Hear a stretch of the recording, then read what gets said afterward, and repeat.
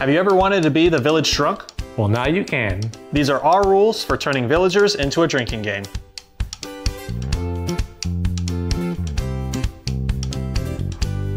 You take the basic rules of villagers and you add these to make it a drinking game.